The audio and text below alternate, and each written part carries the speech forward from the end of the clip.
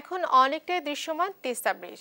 নির্মাণ কাজ শেষ হলে যোগাযোগ ও ব্যবসা বাণিজ্যের আমূল পরিবর্তনের আশায় বুক বেঁধেছেন গাইবান্ধার মানুষ। এলজিইডির কর্মকর্তারা বলছেন, নির্ধারিত সময়ের মধ্যেই শেষ হবে কাজ। অমিতাভ দাস হিমুনের তথ্য ছবিতে ডেস্ক রিপোর্ট। গাইবান্ধায় তিস্তা নদীতে চলছে বিশাল কর্মযজ্ঞ দূর থেকে দেখলে সেতুর প্রায় পুরোটাই এখন দৃশ্যমান। তিস্তার পারে মানুষের ভাগ্য পরিবর্তন ও সড়ক যোগাযোগ উন্নয়নে দু সালে সেপ্টেম্বরে হরিপুর থেকে কুড়িগ্রামের চিলমারি পর্যন্ত এক হাজার চারশো নব্বই মিটার দৈর্ঘ্যের সেতু নির্মাণ শুরু করে এলজিইডি সেতুটি নির্মাণ শেষ হলে দুই জেলার যোগাযোগ ব্যবস্থার আমূল পরিবর্তনের পাশাপাশি প্রসার হবে ব্যবসা বাণিজ্যের। কুড়িগ্রাম থেকে ঢাকার দূরত্ব কমবে একশো পঁয়ত্রিশ কিলোমিটার। ব্রিজ পয়েন্ট থেকে শুরু করিয়ে পাঁচপির বাজার পর্যন্ত যে ওরা মাটিগুলো রাস্তা বাঁধিছে সেটা এখন পর্যন্ত কোনো একটা নোটিশ বা একটা টাকার অ্যামাউন্ট এখন পর্যন্ত আসে নাই।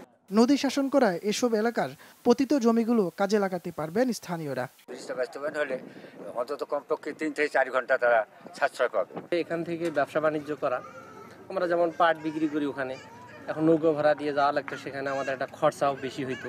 যদি বছর বছর যে নদীর নাব্যতা আমাদের ফিরে পাওয়া যায়। তাহলে এখানে পানি ধরে রাখার যদি একটা সৃষ্টি করা যায় তাহলে এখানে লোকজনের জন্য অনেক সুবিধা হবে। এ সেতুর জন্য গাইবান্ধার সুন্দরগঞ্জ অংশে চলছে ছিয়াত্তর কিলোমিটার সংযোগ সড়কের কাজও। কমিউনিকেশন যখন ডেভেলপ হবে কমিউনিকেশন ডেভেলপ হলে এখানে শিল্প কারখানাগুলো শিল্প কারখানা অনেক গড়ে উঠবে। কারণ এখানে চরাঞ্চলগুলোতে কাঁচামাল অনেক ভালোভাবে পাবে তারা। দু সালের মধ্যে সেতুর কাজ শেষ হবে বলে জানায় এলজিইডি। এরই মধ্যে শেষ হয়েছে পঞ্চাশ ভাগ কাজ।